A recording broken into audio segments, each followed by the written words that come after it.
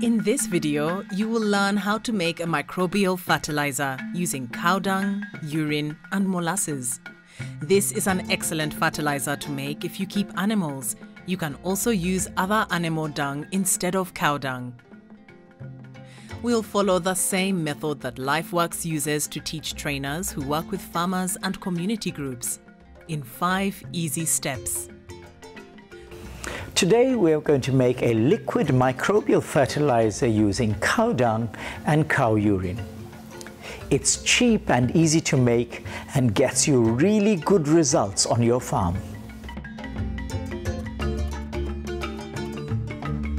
To make the cow fertilizer, you will need the following equipment. A 200 liter drum, either new or used. You will need a stick to mix the cow fertilizer. If you're buying a second-hand drum that comes without a lid, you will need a net to cover the drum and you'll need something to tie the net onto the drum. For your ingredients, you will need about 20 kg of cow dung, either fresh or dry. You will need 20 liters of cow urine, you will need 2 liters of sugarcane molasses and finally you will need 2 kg of flour. Today we'll make 200 liters of this fertilizer. A farmer with one acre, which is just under half a hectare, needs 20 liters of this. The process takes five days in all. It's simple to prepare in one easy step. The five days are needed for the fermentation which allows the microbes to breed. Right, let's put our ingredients together. I've already put in 180 liters of water, which is about nine jerry cans of water in here, which is up to here in my drum. Next, I'm going to add all my ingredients into the water. First, I'm going to add in my cow dung. Next, I'll be adding my 20 liters of cow urine. Now, I'm going to be adding my 2 kgs of flour. For the flour, the best flour to use would be any pulse flour. That would be green gram flour or a beans flour. If you don't have that, you can use maize flour or ordinary wheat flour. Finally, I'm going to add my molasses.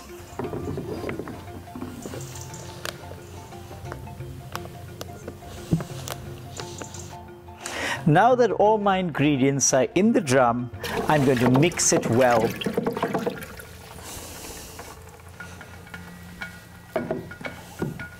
Now I'm ready to cover my drum, either with the lid or the net, and once that's done, I leave it aside for five days and it's ready to use.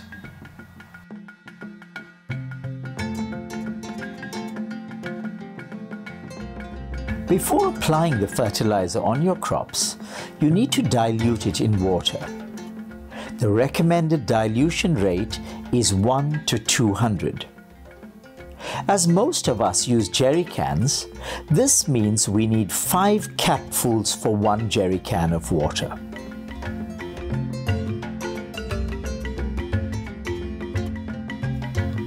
We use it at least 5 times during the crop cycle for land preparation, for seed preparation,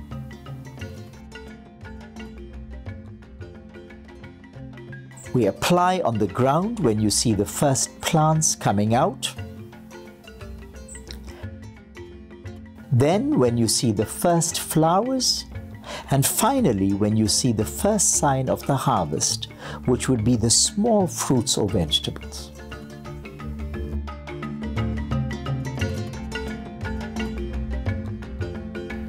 Farming is all about finding out what works and what doesn't. At LifeWorks, we train farmers and trainers to test how the microbial fertilizers work on the crops. We suggest you set up a trial plot to see the difference the fertilizers and compost makes.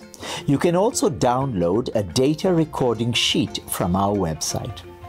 Today, we showed you how to make a microbial fertilizer with animal dung, urine, and molasses. Take a look at our other videos to see how you can improve your crop yield with other microbial fertilizers and an organic compost that is ready in just 18 days.